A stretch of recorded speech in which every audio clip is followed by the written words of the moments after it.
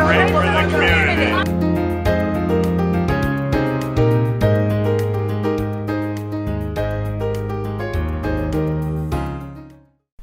My name is Lachey Sanchez and I am the program coordinator here at the Bayview Opera House.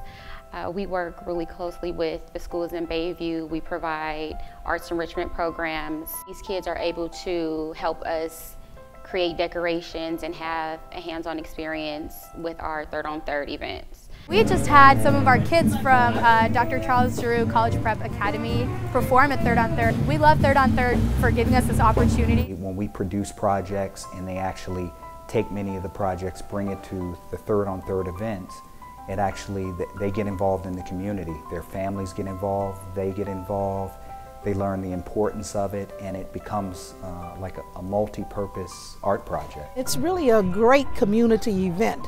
People from the community have really enjoyed all the activities and the fantastic music and food. I've been doing Third on Third for the last couple of years, and I'm really impressed with um, the events they have going on for the kids and the trolley.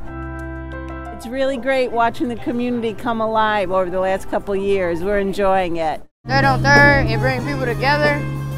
And like families who don't really get out a lot, they get out.